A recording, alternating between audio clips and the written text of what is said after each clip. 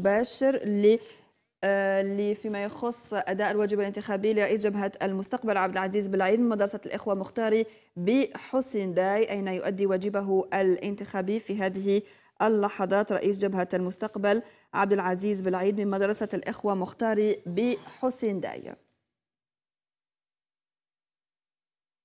إذا نعود ونذكر بأهم ما جاء في تصريح أو إجابة رئيس الجمهورية على أسئلة الصحفيين.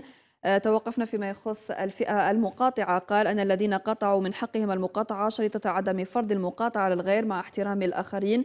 وقال أن الديمقراطية هي أن الأغلبية تحترم الأقلية وتحترم آراءهم تحدث أيضا وقال أن كل جزائري حر في أن يشارك أو يقاطع من دون أن يفرض رأيه على الآخرين.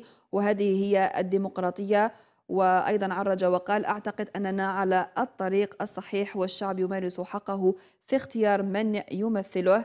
وأيضا في الختام قال لا تعنيني نسبة المشاركة في الانتخابات بقدر ما يهمني أن تكون النتيجة معبر عنها من طرف الناخبين وهم الشعب الجزائري.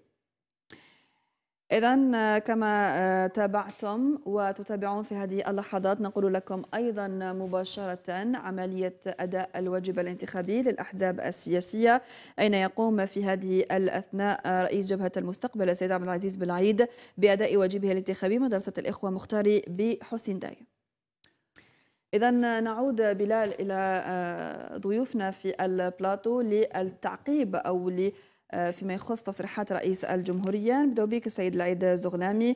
يعني تحدث نقطة بنقطة سنتحدث عليها. إن قال أنه آه، التشريعيات هي هذه اللبنة الثانية في التغيير. تحدث فيما يخص الفئة المقاطعة إلى غير ذلك. تابعت معنا. الملاحظة الأولى هو على غير العادة لأول مرة رئيس يرتجل ندوة صحفية وهذا هو الأساس. هذه الصبيحة أديت الواجب تاعي كمواطن. واجب انتخابي. هذه انتخابات اللي هي مهمة جدا. هي الانتقال من مرحلة إلى مرحلة آه، جديدة. آه، من خلال هذه الانتخابات راح نخرجوا من آه، سلطة الشارع إلى سلطة المؤسسات.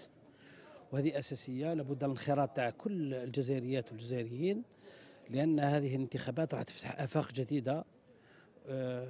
لمستقبل وبناء جزائر الجديدة اللي كنا نمل فيها. آه، الشعب راح يأكد السلطة تاعو من خلال هذه الانتخابات. آه، نتمنى أن تم الانتخابات كما الصبيحة هذه في هدوء وطمئنان على مستوى وطني وهذا يشجعنا أكثر والشعب الجزائري يعني فهم أن الخروج من هذه الأزمة المتعددة لن يكون إن عبر آه، مؤسسة المنتخبة وعبر مؤسسة الجمهورية وعبر سلطته كشعب.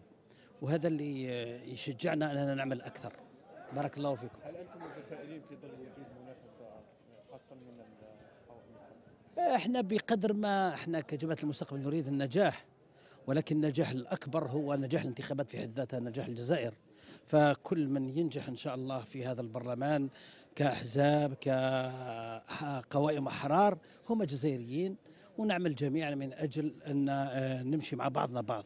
فالنجاح والنجاح الانتخابات في حد ذاتها هو نجاحنا. إحنا كجبهة المستقبل. بارك الله فيكم.